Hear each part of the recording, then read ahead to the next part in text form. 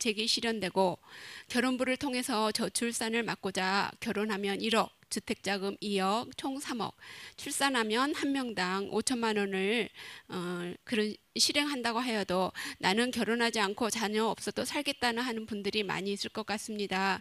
독신으로 고집하고 결혼 안 하겠다는 사람도 있으면 총재님께서 미혼자들을 불러서 면담을 하실지 어떻게 조치하실지 궁금합니다.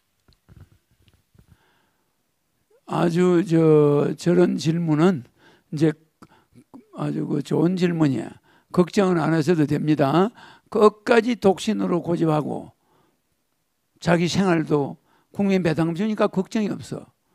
그냥 150만 원으로 살아보다가 좀 불편하면 여자 하나만 더 있으면 300만 원 나오잖아.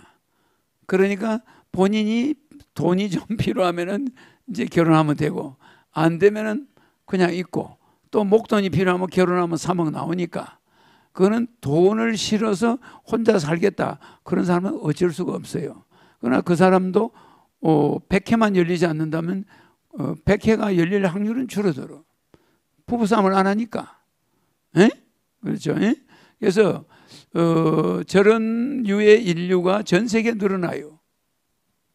다른 나라는 결혼하면 돈 주는 게 아니니까 전 세계에 늘어나면서 독신 가정이 세계적으로 늘어나는데 미개발 국가 중국이나 인도 같은 이런 나라는 인구가 계속 성장하고 프랑스나 코리아나 선진국들은 인구가 점점 내려가는 수준으로 들어갑니다.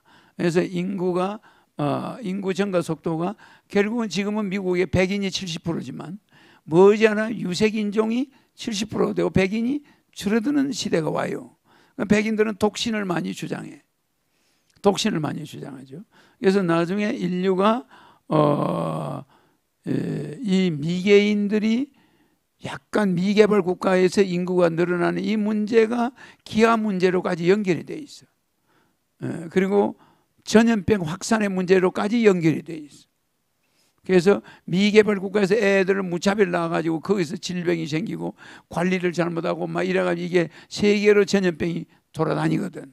그이 문제는 나중에 내가 또 다른 방법으로 또 해결할 수가 있어요. 염려하지 않아도 돼요. 알겠죠? 어쨌든 인구가 7억 수준으로 내려간다는 것은 기존 하늘의 방침이라는 거 여러분 알아놔야 돼요.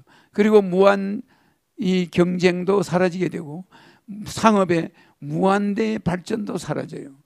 그래서 우리는 자조, 자조 건면 협동처럼 자조하면서 자족하는 자조만 있는 것이 아니라 자조만 있는 것이 치워버려요. 자조만 있는 것이 아닙니다. 에? 자족하는 자족 사회가 되는 거야. 자족. 그러니까 지나치게 뭐 이 뭐 뭘 한다 이런 것보다는 환경을 먼저 생각하고 그다음 경제. 지금까지는 경제를 먼저 파일을 먼저 생각하고 환경은 거기 뒤를 따라갔어.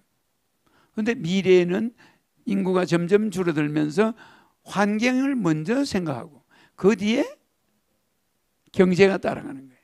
아시겠죠? 예. 네. 그러니까 우리는 경제가 우선순위로 하다 보니까 환경이 지배받은 거예요. 피해를 받았는데 앞으로는 환경을 먼저 세운 다음에 경제가 따라가는. 그러니까 이제 기차가 좀 달라지는 거지.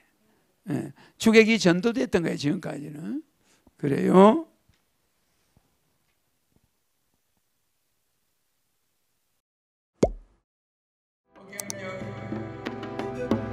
경력